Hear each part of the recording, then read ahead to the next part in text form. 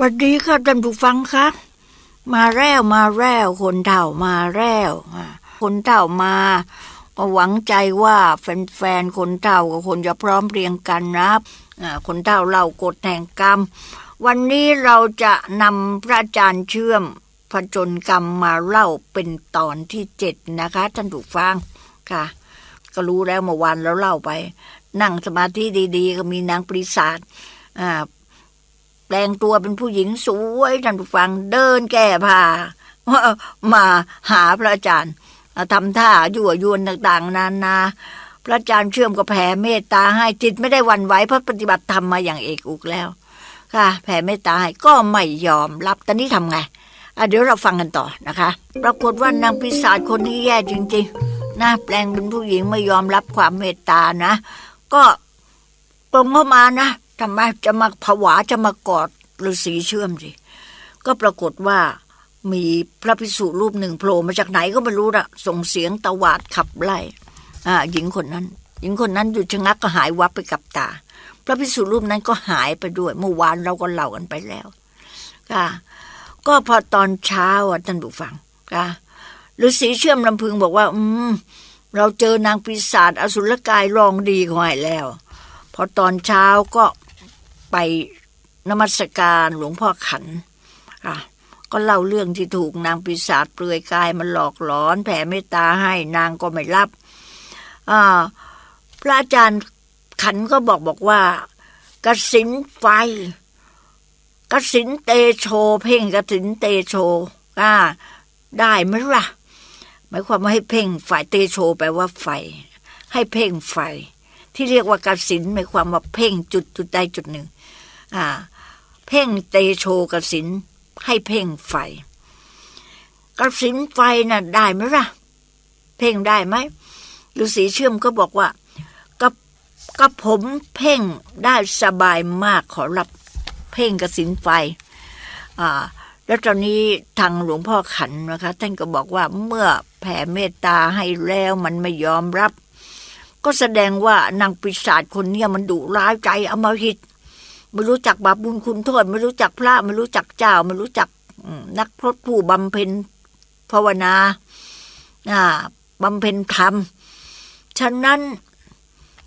ท่านต้องลงโทษมัน ให้สำนึกด้วยการเพ่งกระสินไฟขับไล่มัน คือให้เพ่งไฟ ไฟมันร้อนนะท่านผู้ฟังไอ้การเพ่งจุดใดจุดหนึ่งเขาเรียกว่ากระสินนะคะ เพ่งอากาศนะกระสินอากาศเพ่งลมกระสินลมกระสินไฟกระสินน้ำเนี่ยอาเพ่งอาโปกระสินนี่ให้เพ่งกระสินไฟเตโชกระสิน ก็ปรากฏว่า จะได้ผลหรือครับจะจะเชื่อม ก็ถามพระอาจารย์ขัน ซึ่งเป็นพระเเกจิอาจารย์ที่ดังนะคะ ท่านก็บอกบอกว่า พูดพิสิวิศาสทุกประเภทนั่นแหะกลัวถูกไฟเผาอย่างที่สุด เพราะฉะนั้นคุณก็ต้องลงโทษมัน โดยการเพ่งกระสินไฟ เพื่อเอาความร้อนนะไล่มันไป อันนี้ก็ในเมื่อเผามันแล้ว มันต้องยอมจำนนไม่ใกล้ไม่กล้าฮึดสู้อีก ปรากฏว่าจะหรือจะเชื่อมหรือสีเชื่อม พอได้ฟังพระอาจารย์ขันบอกว่าให้เพ่งกสินไฟเตโชกสิน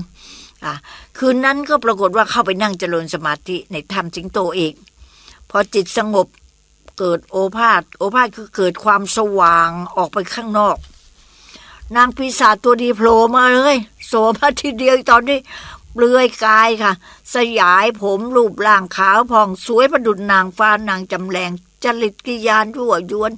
อ่าทำท่าต่างๆ นานาเข้าใกล้ฤาษีเชื่อมเข้ามาทุกทีทุกทีฤาษีเชื่อมก็ได้แผ่เมตตาไปให้อีก แต่นางพิศาจอสุรกายไม่ยอมรับ กลับโผผวาเข้ามาทำท่าจะสวมกอดฤาษีเชื่อมก็สำรวมจิต จนกระแสจิตได้ที่ดีแล้วก็นึกหน่วงให้เป็นพลังแสงไฟอันร้อนแรง เพ่งไปที่ล่างนางประสาทอสุรกายทันทีเพ่งเตโชกสินนะท่านผู้ฟัง ปรากฏว่าวิญญาณของนางปีศาจสลายหายไปก็เลยทำความสงบมาสู่ถ้ำสิงโตอีกครั้งหนึ่งหมายความว่าใช้ไฟกระสินไฟเนี่ยเตโชกระสิน ไม่ปีศาจร้าย ก็หลังจากได้บำเพ็ญธรรมเป็นฤาษีอยู่ในถ้ำนานพอสมควรแล้ว ได้พบสัจธรรมแห่งองค์สมเด็จพระสัมมาสัมพุทธเจ้าแล้วฤาษีเชื่อมก็จึงได้บวชที่วัดพรม เมื่อตอนอายุย่างเข้าสามสิบปี บวชสมดังที่ได้ตั้งสัจจะไว้เมื่อครั้งบำเพ็ญเพียรอยู่ที่ในถ้ำเมื่อได้บวชจากฤาษีมาเป็นพระภิกษุแล้วนะคะ ท่านผู้ฟังค่ะค่ะ ท่านก็เร่งปฏิบัติธรรม เร่งปฏิบัติธรรมสมาธิออกทุดงไปตามป่าตามเขาลำเนาไพรอย่างไม่ย่นย่อ เพราะได้พบความจริงพบสัจธรรมแห่งการปฏิบัติธรรมแล้ว ค่ะ ก็ทุดงไปค่ะ ทุดงไปเผยแพร่พุทธศาสนา เป็นกำลังสำคัญเผยแพร่พุทธศาสนาให้ชาวบ้านเหล่าชนตามป่าตามเขานะคะ หันมาปฏิบัติธรรมจนได้รับความเคารพนบนอบจากหมู่ประชาชนตลอดมา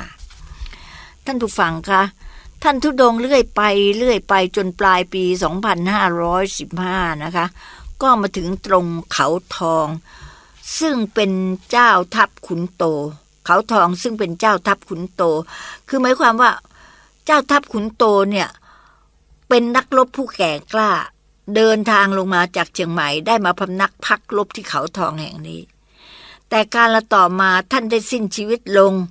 ดวงวิญญาณอันศักดิ์สิทธิ์ของท่านนะคะ ก็ยังเฝ้ารักษาแผ่นดินบริเวณนี้ตลอดมา พระอาจารย์เชื่อมก็ได้ยึดเขาทองนี่แหละ ไว้เป็นยึดเขาทองเป็นแหล่งสุดท้าย ก็จึงได้ปฏิบัติพัฒนาเป็นวัดขึ้น โดยมีความร่มรื่นจากธรรมชาติเหมาะแก่การปฏิบัติธรรม ด้วยความประพฤติปฏิบัติเคร่งครัดน่าเคารพนับถือนี่ทำให้เกิดศรัทธาผู้อยู่อาศัยไกลๆชาวบ้านทุกสารทิศนะคะ ค่ะ มาเคารพนุบนอบเขาทองก็เลยกลายเป็นวัดโตเขาทองพุทธาราม ตั้งแต่บัดนั้นเป็นต้นมาศาลาอารามก็ถูกจัดสร้างขึ้น เพื่อสะดวกแก่การปฏิบัติธรรม ตลอดจนบำเพ็ญทานช่วยเหลือผู้คนต่างๆ ระอาจารย์เชื่อมท่านได้สอนการประพฤติปฏิบัติและตอบปัญหาข้อข้องใจในกรรมฐาน แก่นักปฏิบัติต่างๆ ด้วยความเต็มใจและเปลี่ยมไปด้วยเมตตาธรรมยิ่งนักนะคะ ท่านผู้ฟังคะค่ะ ก็นี่แหละค่ะ เป็นเรื่องราวของเออพระอาจารย์เชื่อมนะคะ ซึ่งผจญกรรมหลายครั้งหลายหนค่ะก็เนื่องจาก ท่านปฏิบัติธรรมอย่างเอกอุกนะคะ ปฏิบัติธรรมแบบยอมกายถวายชีวิตให้แก่พระพุทธศาสนาท่านก็เลยรอดจากอันตรายใดๆจากไปผจญภัยในป่าปฏิบัติในป่าในภูเขารอดมาค่ะ จนกระทั่งเป็นที่พึ่งของออชาวบ้านแถบนั้นค่ะท่านผู้ฟัง ก็